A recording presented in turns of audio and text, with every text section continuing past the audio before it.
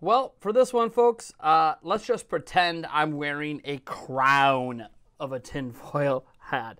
Uh, I got some information here that I've had independently verified, but even with that independent verification and how much I trust that person, uh, this information doesn't necessarily tell us what's going to happen, but it does suggest something is going to happen. And since it doesn't really give us a what, I'm okay talking about it because a lot of it's going to be speculation.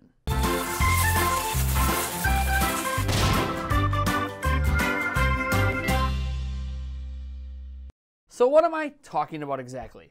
Uh, a person who prefers to remain anonymous, I do know who they are, uh, sent me a cell phone picture. So, you know, again, crown hat here, of a sheet or computer. I think it's a sheet uh, from, yeah, no, it's definitely a sheet uh, printed off from a GameStop store preparing for next week right? Not this upcoming week, but next week. Now, I wasn't sure about this sheet, and you know what? screw it, here it is. Because uh, obviously it has some stuff cut off. But the important part here is obviously the highlighted portion. Now, what's interesting here is I first off, when I was double checking this, I wanted to make sure that this thing is real. Is this actually something that GameStop uses?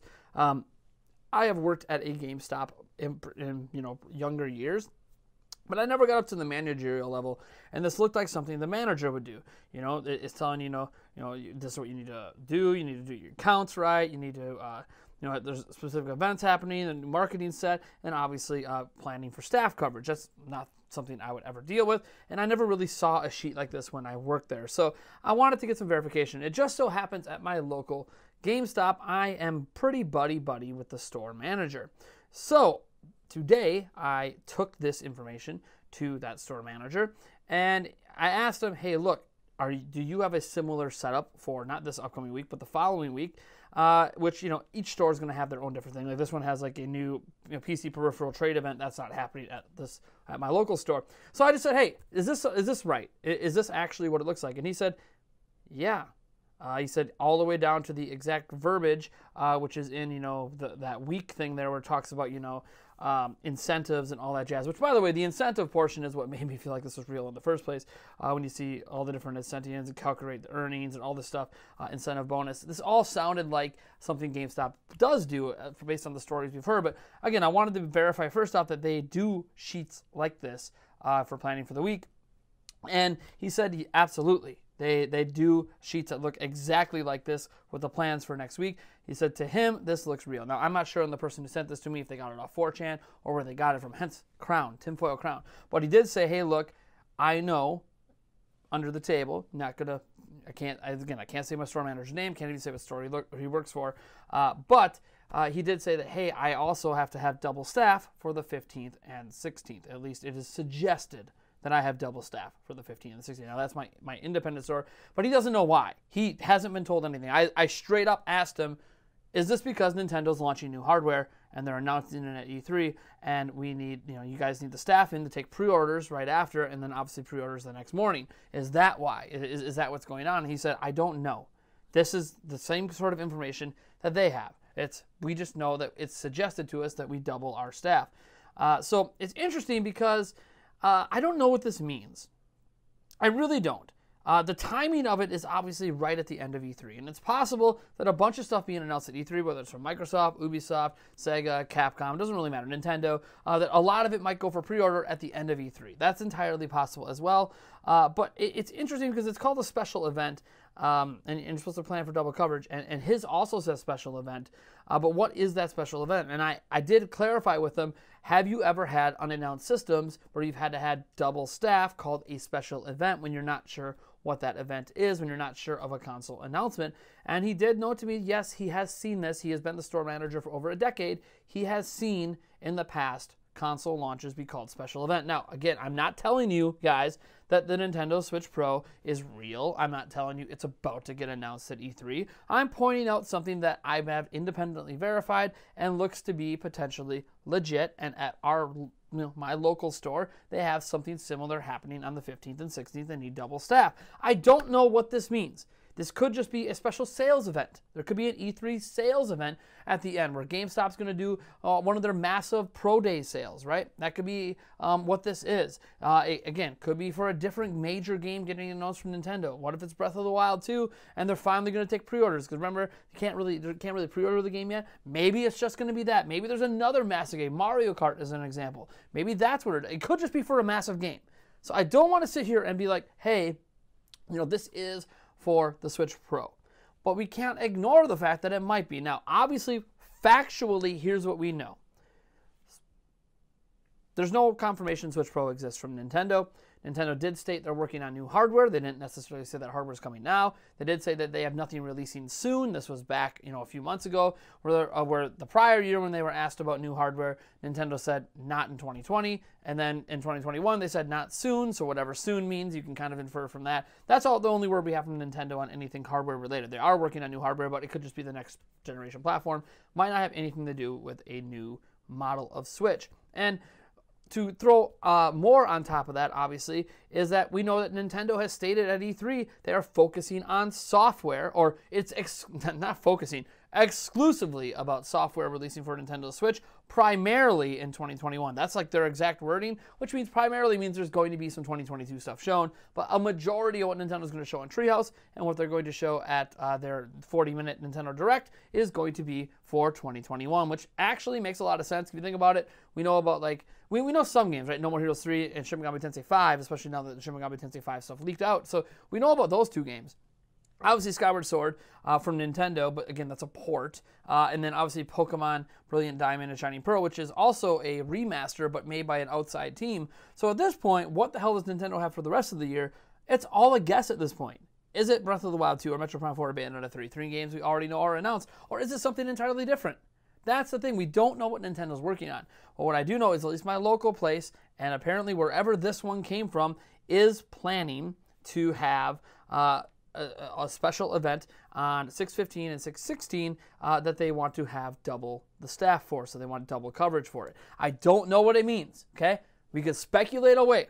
You know, you're asking. My, I'm, I'm sure there's some of you out there like, well, well, Nate, you know, you talked to the manager. You kind of got the tone in his voice. What do you think? The manager had no idea. I literally asked him point blank if it's for a game or if it's for a system, and he said, I don't know. It's not something that he's privy to. He doesn't know the information uh, pretty much until the day of. Basically, they get an email, I guess, from corporate on the day of.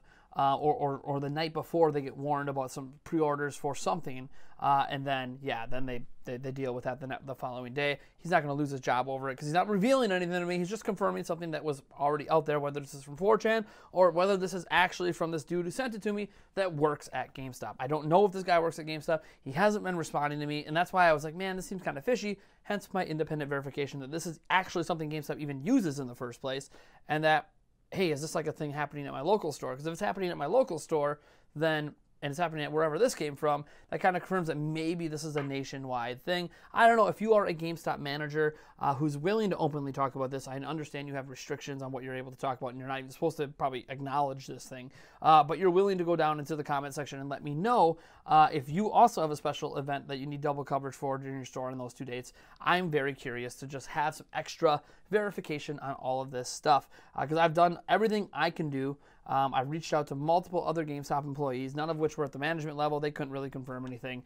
Uh, and but again, the manager guy I talked to said, "Yeah, this is something that we do do. This is something we do get. This week's password for our store is something that we do have, and we do manually write that password in.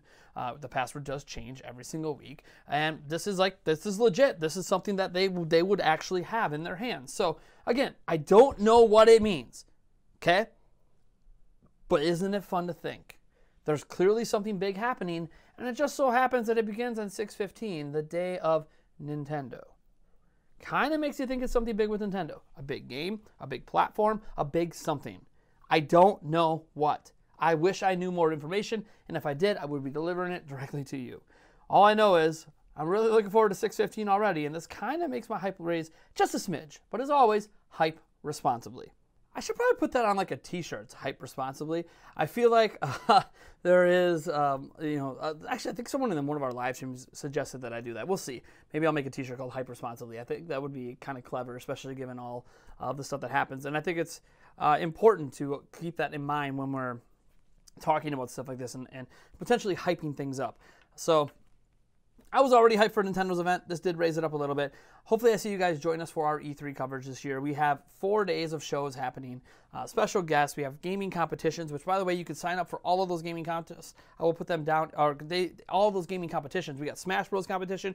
We got a Mario Kart competition. We got a Splatoon 2 competition. All those signups will be down in the description for each day of E3, a chance for you guys to be chosen to come play against myself or my co host, Mr. Eric, uh, to win prizes. We also have obviously a bunch of giveaways. I mean, I'll just show off a couple right now. I showed these off on stream earlier today, uh, but we got things like this really cool, like lenticular uh, thingamajigger here uh, with Mario, Bowser, and Peach. Um, we also got a really cool one here with uh, Samus. Can't forget, can't forget Samus and Metroid. What if, what if you get 2D Metroid announced or like, you know, we get, uh, we, we, I don't know. There's a lot of cool. This is a couple things we've added to it. Um, this is one that I know some people on Twitter were going nuts over. We have we have this giant wood um, Ocarina of Time. Um, you know, this is like one of the original posters, advertising posters. Uh, this is wood, painted on wood and textured and everything. Really, really cool. Uh, the bottom line is we have a lot of really cool stuff we're giving away, from games to stuff like this. Which, by the way, I bought all this stuff out of pocket. And if there's anyone out there who thinks I'm, all these giveaways are just sponsored, um, I spent a lot of money on this stuff, guys. I'm trying to put on one hell of a unique show for you guys. So hopefully you enjoy it. Hopefully we're at least entertaining. If E3 itself is boring and Nintendo doesn't deliver the goods, that would suck. But hey, um, hopefully, you at least have some fun with us along the way. Thank you so much for tuning in. I am Nathaniel Robochance from Nintendo Prime. I'm sure, despite all the warnings and everything, this video is going to burn me in the end. You know, that's just how it goes. It is a rumor. I'm not classifying this as anything other than a rumor. Uh, as always, be skeptical. Uh, and technically, the rumor doesn't even tell you any information, anyways. It's kind of a weird one, right? It's kind of a, oh, they're planning for something, but okay, what is that something? Guess we'll have to wait and find out. I'll catch you guys in the next video. Yes.